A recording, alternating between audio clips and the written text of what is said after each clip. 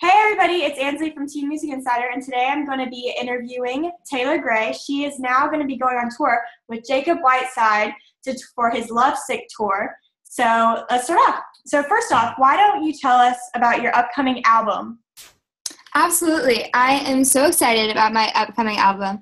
It's called Falling, um, and it's really going in a, a different direction um, from what my old stuff is. It's kind of uh, more I don't want to say electronic because like that has a whole genre around it, but it's definitely more dance. It's definitely more me um, as I'm growing as an artist, and I'm super super pumped for it. The title track "Fallen" is a duet with Brad Simpson from the Vamps, which I'm stoked about. It's like one of the favorite songs I've ever written. Um, so yeah, just a lot of things are coming together, and we're we're taking a new direction with it, and I'm super excited. That's awesome. So the song with Brad, like, what's the story behind that song? Yeah. So this the song the song is actually about it doesn't have like a person behind it, but it, the the theme is basically if you have a relationship with someone and you move on and then they're trying to like bring it back together um or it kind of everything just kind of fall it's it's fall uh fallen apart and like um they're trying to bring it back together and you're like i can't go down this path again yeah, yeah. essentially what it is you're like i'm sorry my bad um is what the song is about and what was really cool is that when brad heard it um i could know like just from like what he uh, wrote in emails and stuff i could tell he really got it and we did a little bit of collab with it, and it was just um, with harmonies and just really great. Um, that was super fun. Another songwriter close to my age, like getting the song was pretty dope. That's so awesome. So, if you could collaborate with like anybody, who would it be? Oh gosh, I have a long list. Okay. um, oh, pressure. Okay. I guess off the top of my head, I would have to say John Mayer. Oh yeah, yeah. yeah. Just because he's such a music purist and like his songs are yeah i've i grew i grew up listening to him um that's yeah that's definitely the off the top of my head that one is like one of the what's your favorite song by him? I like his i like his cover of Free Fallin' a lot.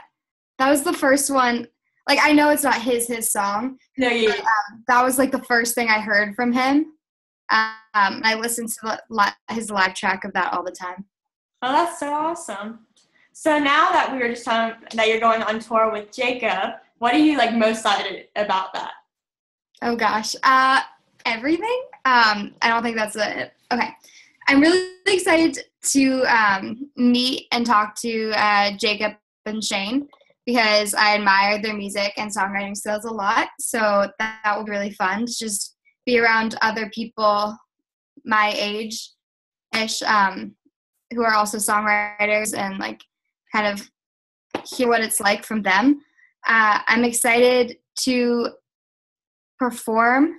Like I, I've been, I've done, I did, I performed all my life, but not my own songs. Yeah. I've done a few shows here and there, but this is like really performing. So I'm really stoked about the opportunity to get up in front of people and share my music. I think, yeah, pretty much the whole aspect of a tour. Are you going to be singing songs from your EP, Mine and Mine? Yeah, I'm going to be singing Love Sweet Love from that EP, um, which is the one with the video. And then I'm singing two new songs um, from the Fallen album, Falling, and then another song called Comeback, which I'm really excited about. Mm, that should be exciting. How was it making that Love Sweet Love video? It looked a lot of fun. I watched it. Thank you. Yeah, it was it was super fun. We just kind of hung out and danced around. It was very, yeah, it was very magical. I don't know. That's like just like going to all the different places and uh, seeing like what it's really like um, to make a production, like the different shots you need. That was, yeah, it was super cool. I felt behind the scenes. Oh, that's cool. I mean, I guess I was. yeah, because that was your yeah. first, like real music video, wasn't it? Yeah, absolutely. I had done like a smaller time thing before, but it was the first real thing for sure. That's so awesome. So now I was thinking we could talk a little bit more about like what type of music you like. So who is like your celebrity crush right now? Oh, uh, does this have to be music or can it be anybody? It can be anything. Okay. My celebrity crush is um, Daniel Jost from SNL. I think he is adorable, and I have the biggest crush on him. When he came on week- Weekend Update, I was like talking to all my friends. I was like, guys, I don't care if you don't watch SNL. You're watching this with me. I think, yeah, I think he's adorable. But yeah. That's awesome. Okay. what was your first concert you went to as a kid? Ooh, I went to the Hannah Montana concert where the Jonas Brothers opened. I've been to that concert too. Nice, yeah. yeah, that was my first concert. And I think so weird that like Demi and Nick are going back on tour. I'm like, that's like weird to me. I know, it's like Inception. It's so cute. I love it. it is very cute. Okay, uh, what song do you never get tired of hearing? Good. Good. Um, Hotel California by the Eagles or Life in the Fast Lane by the Eagles. Most songs by the Eagles. I love the Eagles. Are they like a big influence to you, or like who's some of your musical influences? yeah, I mean, I wish I could write music like them, right? Um, it's like not my style, and they're super talented. Um, uh, but yeah, growing up, I listened to Hotel California a lot, a lot. Uh, and that was a big influence on like learning what metaphors were in songs and just like kind of doing different cool things with different styles of writing Yeah, yeah. for sure. That's so awesome. What is your favorite song Of theirs or like ever? ever and at the moment?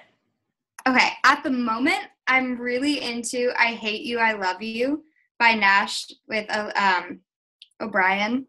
I really like that song. Um, I love singing it. I'm trying to convince um, my band. I'm like, guys, we need to do that on the tour. Like, we need to. And I was like, I That'd be really fun. um, yeah. So at the moment, I'm really into that song. And then ever, definitely, definitely an Eagles song for like ever, ever. That's so cool. Let me look. One. okay, so if Hollywood ever made like a, the Taylor Grey movie, who would you want to play you? Blake Lively. was fast. um i i yeah i've seen like the i've recently saw the shallows like movie preview and i was like I want to see that so bad. oh no same. I'm like i watched it over i was like please like i hope there's more of it. Yeah i'm so excited for that movie.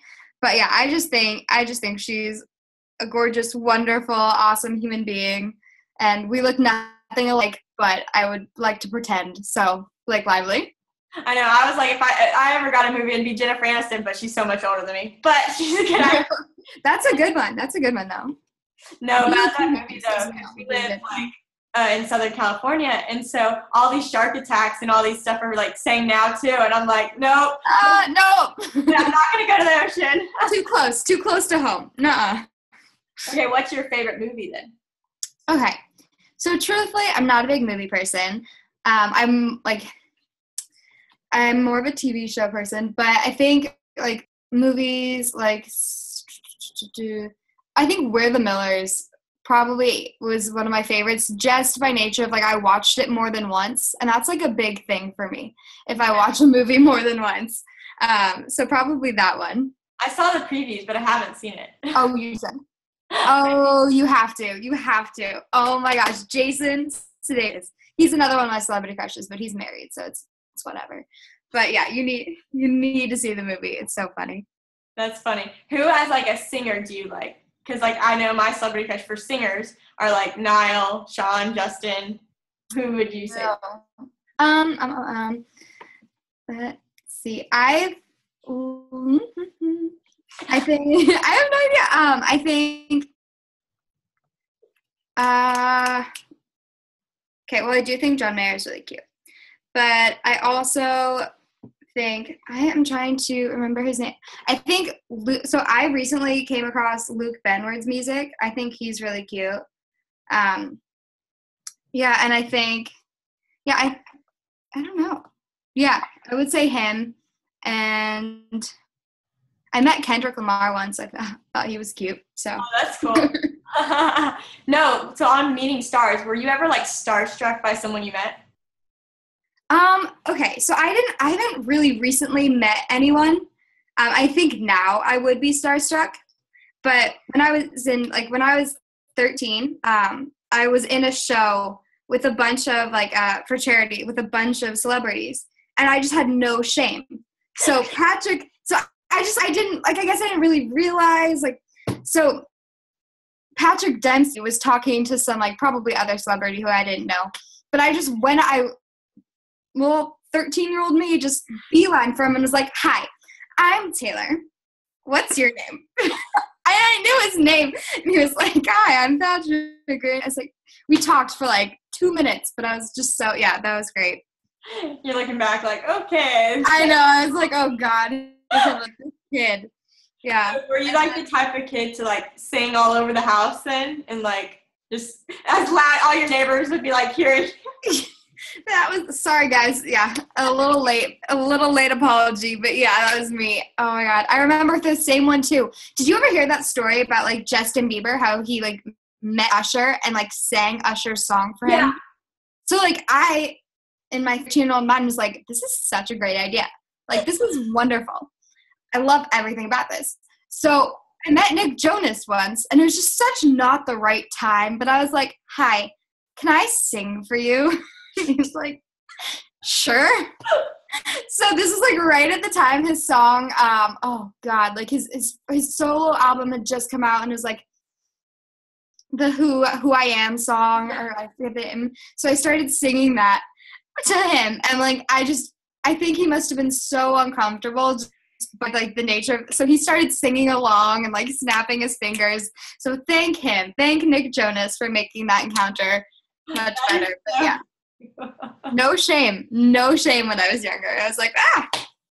So when's your first show with uh, Jacob is on Friday, correct? Yes. So that should be exciting. So are, have you met Jacob before? No, I haven't. It will be my first time meeting him, but right before the show. You're like, okay, this is awesome. yeah, it's like very sudden, but um, it'll be the show will be in my hometown. It'll be in San Francisco, from the Bay Area. Um, and a bunch of my like, high school and college friends are going to come out. So That's I'll have that support there. The Friday or no Saturday, the Los Angeles show. Oh yeah, sorry, what? I'm going to the Los Angeles show on Saturday. You're coming? Yeah. Oh yay! Thank you. Yeah, so I'll be there. I'll be there as well. It'll be fun to watch you. It definitely seems like this is what you wanted to do and meant, were meant to do by all the stories and stuff you but we definitely live in yeah you have the opportunities to do it. Oh yeah i'm so lucky.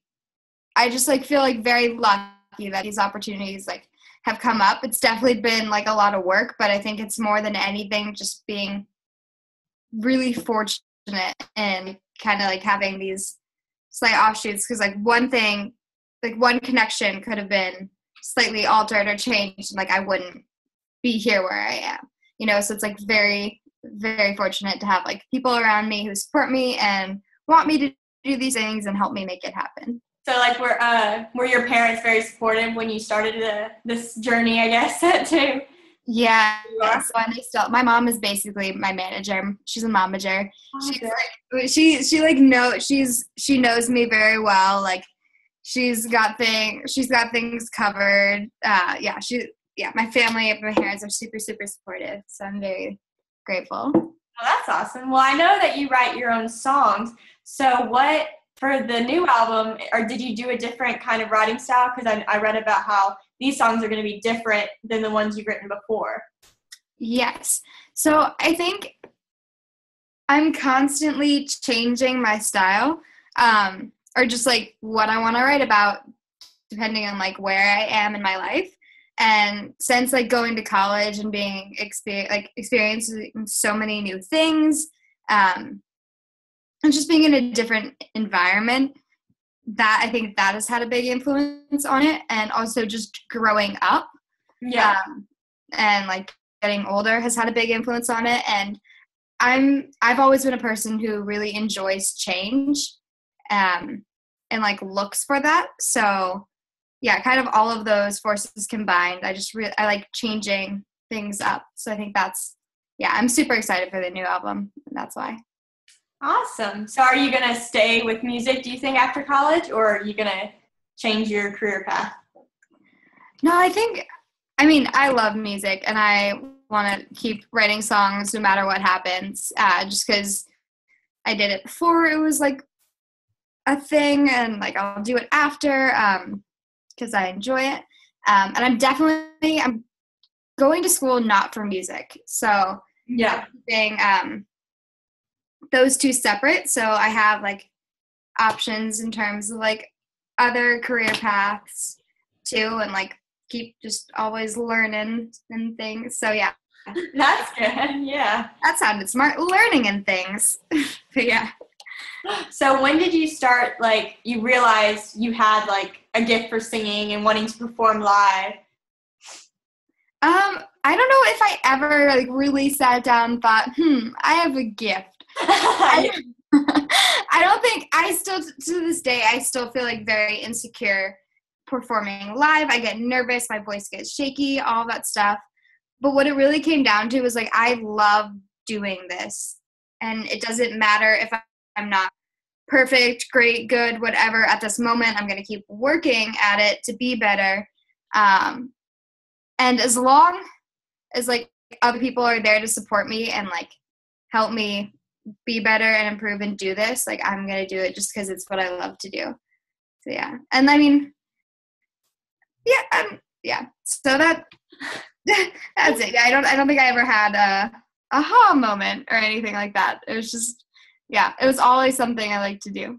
Well, that's good too. Yeah, because like with my blog, I started when I was 17 or 16 because I knew I couldn't do the singing part of it, but I wanted to be in this career because it's awesome. Who like follow me who want to do music though and sing and will ask me to post their videos and stuff and all this stuff. But what could you tell them about starting this music career? Like, what's your advice to people who want to start in this career path?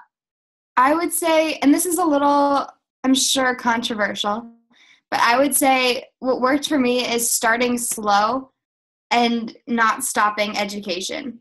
Yeah. Um, I always, always, and to this day, I prioritize school and learning. So things take longer and they take patience. But if you really love two things, like learn, like education is important. Like stay stay in school, kids. There you go. But, um, and if you really love like music, it will happen. Um, if you work for it, if you're not afraid to put yourself out there, like nothing obviously happened from me singing to Nick Jonas, but one day that will work for someone. So it's constantly putting yourself out there and doing things that you may be afraid to do to like show um, what you can do, and then never being complacent or never thinking you can't improve. Um, and just like always working on your craft and like learning from people. And that's why I think staying in school helps. And yeah, just being patient, taking your time, not expecting things to happen overnight. Because I know when I was younger, I wanted, like, when I was nine or 10, I was like, by the time I'm 12, I want to be doing this. Yeah. And then, okay, 12 came and passed by 15, by 17. And at least before college, please, at least before college. Like I started a long, long time ago and just now I'm truly starting. But it was, it's now is the right time for me. Yeah. Uh, 12 wouldn't have been. So it's, yeah, it's just patience. So how did you get the opportunity to uh, go on Jacob's tour? Did they like just email you guys or something, or was it like? I wish it was that cool. I think you know, honestly, so no one really tells me much. I'm kind of just like showing up to things. um, but no, I think my manager um, is good friends with their manager. Oh, that's good. That that helped. You're because so uh, you're in Stanford, right? Yes. So what are you going to like? What classes are you taking right now? Like, what major are you get, you're considering at the moment? God help me if I know. I have no idea. I'm getting. I'm about to go to college. I don't know.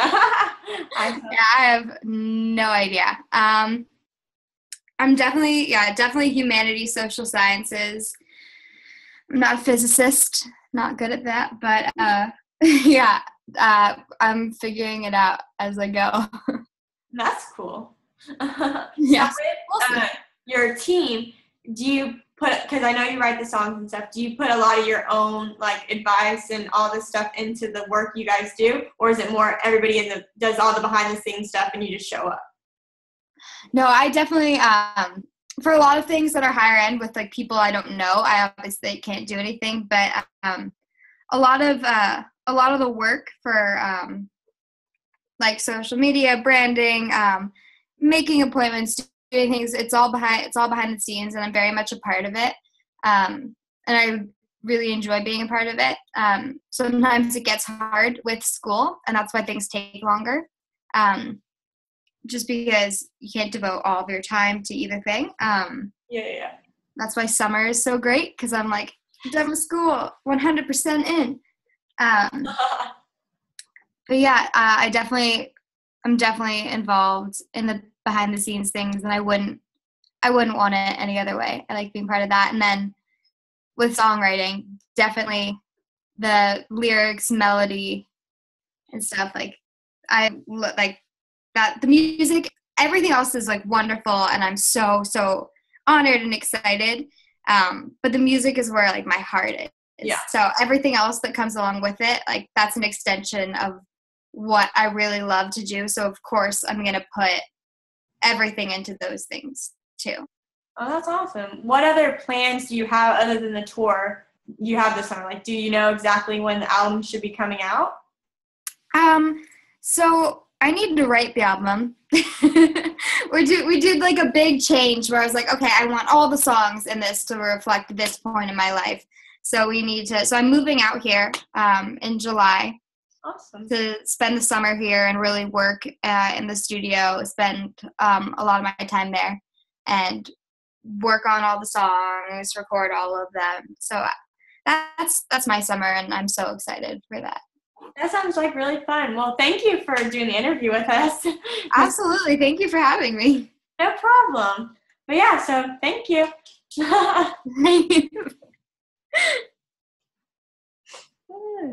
I'm trying to figure this out. It's not working.